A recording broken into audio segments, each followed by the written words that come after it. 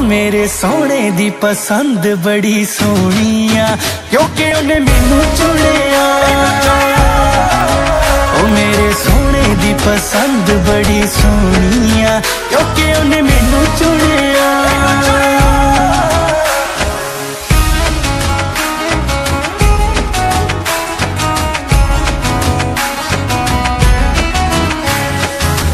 ਵੈਸੇ ਤਾਂ ਮੈਂ ਚੱਲੀ ਜਈ, ਬਣੀ ਰਹਿਨੀਆਂ ਪਰ ਉਹਨੂੰ ਲੱਗਦੀਆਂ ਰਾਣੀ ਵਾਂਗਰਾ।